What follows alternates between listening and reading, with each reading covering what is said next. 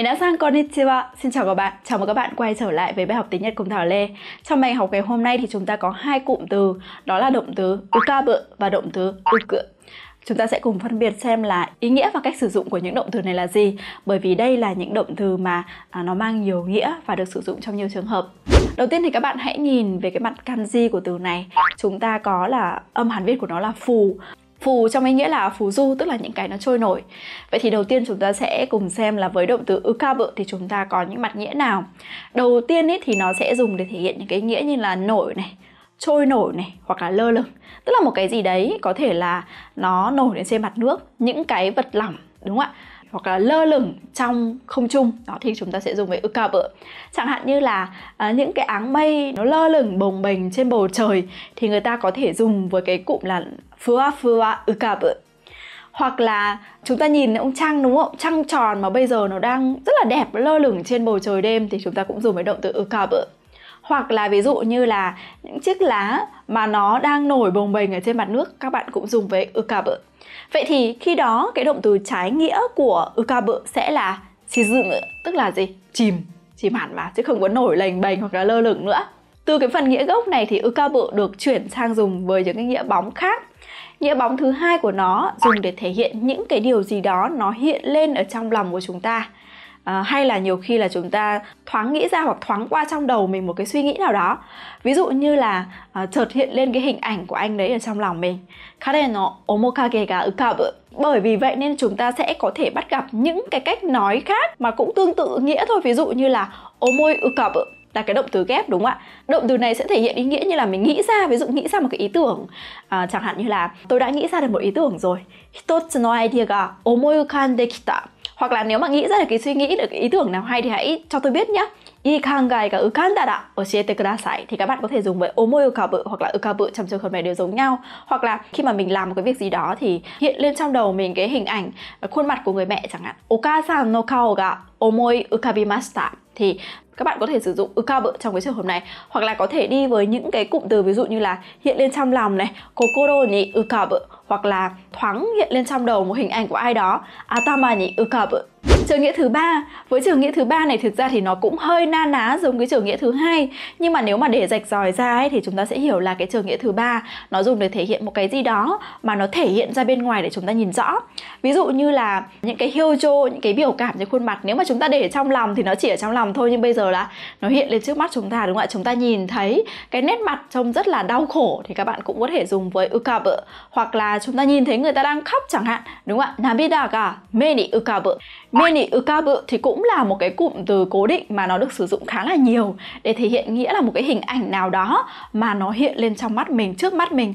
Ví dụ như là mình nhìn thấy cái hình ảnh quê hương yêu dấu Natsukashi, đúng không ạ? Rất là lâu không về rồi, bây giờ nhìn thấy cái hình ảnh quê hương yêu dấu hiện lên trong mắt mình, hiện lên trước mắt tôi. Đó, thì chúng ta có thể dùng là medi ukabu ừ, trường hợp thứ tư thì ừ, ukabu nó sẽ dùng để thể hiện cái nghĩa là một cái vật gì đó, monoga. Thì cái hình ảnh của nó nó hiện lên một cách rất là nổi bật và rõ rệt.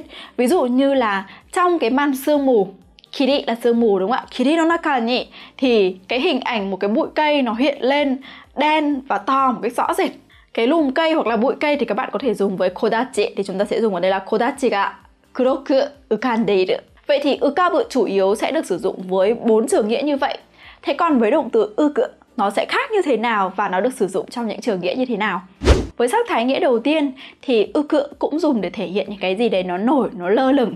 Vậy thì các bạn có thể thấy rằng là nó giống với trường hợp của ư ukabu và có những khi mà chúng ta có thể thay thế được cho nhau. Ví dụ như là mây thì nó nổi đúng không ạ? Đấy là một cái chuyện rất là đương nhiên. Mây thì đương nhiên sẽ nổi, sẽ lơ lửng trên bầu trời rồi. Hoặc là khi mà mình đi bơi ở biển hoặc là bể bơi, nếu mà mình biết bơi thì người mình nó sẽ nổi lên trên mặt biển đúng không ạ? Thì lúc đấy các bạn cũng dùng với ư cựa.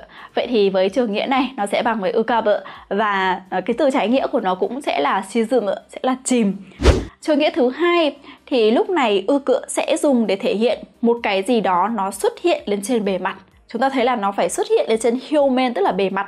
Nó sẽ khác với lúc nãy là mình nhìn thấy trước mắt, còn đây là lên trên bề mặt. Ví dụ như là mình trang điểm. Nhưng mà nếu mà cái da mình khô ấy, thì cái lớp phấn nền nó sẽ bị cộm lên, đúng không ạ? Nó sẽ nổi lên và nhìn rất là rõ lên trên bề mặt. Thì lúc đấy chúng ta cũng sẽ dùng với động từ ư cửa ví dụ như là hada ga kanso shiteru to, foundation. Foundation là phấn nền, đúng không ạ? Foundation ga ư cửa trường hợp thứ ba với trường nghĩa này thì nó sẽ đi với những vật ví dụ như là ha gà ư cửa thì tức là cái răng của chúng ta nó lung lay như kiểu sóc gãy ấy. đó, thì cũng sẽ dùng với ư cự với trường hợp với nghĩa đó. Trường hợp thứ tư thì ư cự nó sẽ dùng để thể hiện cái nghĩa là chúng ta tách biệt, chúng ta cô lập khỏi một cái tập thể nào đó. Ví dụ như là tôi rất là cô lập ở trong công ty. Watashi wa kaisha de uitemasu mình tách biệt ra khỏi một cái nhóm đó còn trường hợp thứ năm thì với trường hợp này à, chủ yếu thì ư cự sẽ được dùng một cái dạng phủ định. Điển hình nhất là cái cụm từ là ukanai kao này, à, có thể đi với động từ là ukanai kao shite tức là cái khuôn mặt trông rất là uh, cử đại rất là u ám, ủ rũ.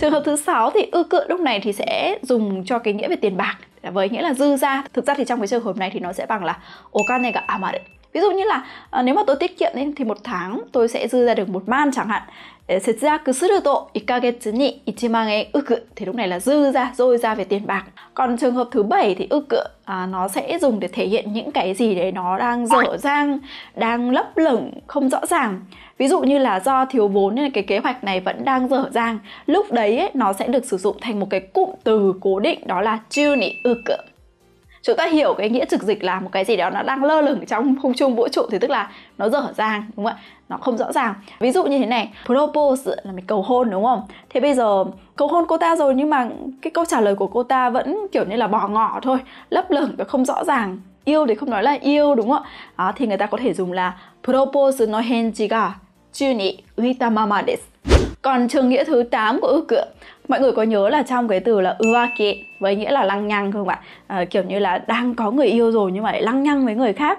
Vậy thì từ đó chúng ta có một cái cặp từ đó là uita uvasa tức là những cái tin đồn xoay quanh đến chuyện yêu đương trai gái, lăng nhăng, đó.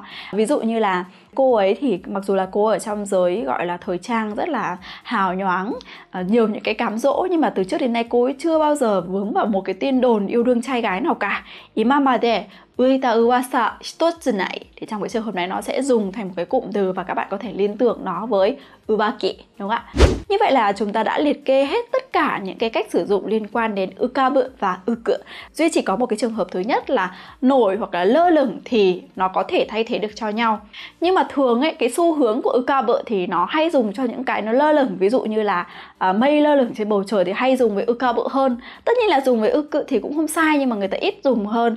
Còn những cái trường hợp khác thì ukabu có cách sử dụng riêng của nó còn uku cũng có cách sử dụng riêng của nó và nó không thể thay thế được cho nhau mặc dù nó đều cùng một từ kanji là chữ phù và đều cùng có vẻ trông giống nhau nhưng thực ra không giống nhau phải không các bạn Hy vọng rằng video này có ích cho các bạn, đặc biệt là những bạn đang muốn tìm hiểu về cách sử dụng của các cái cụm từ. Những cái cụm từ này thì các bạn sẽ thấy bắt gặp khi chúng ta học N2 hoặc là N1, N3 cũng có thể bắt gặp nhé. Xin chào và hẹn gặp lại các bạn trong những bài học tiếp theo.